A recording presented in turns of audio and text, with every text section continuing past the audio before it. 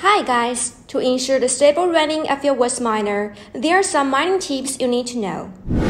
Today, we are going to talk about the working voltage. Here, you can see the working voltage of each model on the website. All air cooling models apply alternating current from 220 to 240 volt. If the machine runs below 220 volt, will be unstable and will have problems such as automatic restart, reporting error code 250 or 251, etc. If the machine runs higher than 240 volt, the power supply is prone to damage. So, it's important to adjusting the working voltage to the right range.